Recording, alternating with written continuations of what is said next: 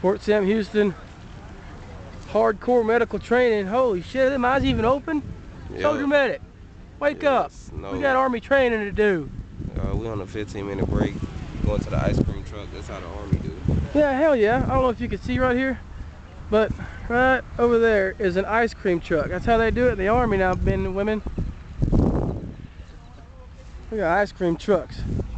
Thomas knows about the ice cream truck, don't you? I do. I went last time. Hell yeah. Cash only though. Cash only, folks. They don't take no plastic.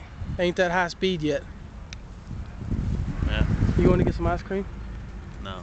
I wish I had cash. I'd go get me some. Oh yeah. You have cash? You want to go get me some? No, I don't. Shit. Mmm. Ice cream. This is a spoiled army, man. What do you think about that? How does that make you feel? Makes me feel like a pussy. Feel like a pussy? Yeah. You just got stuck with needles. Pussies don't get stuck with needles. Then I'm a very well treated pussy. Pampered pussy. I'm a pampered pussy.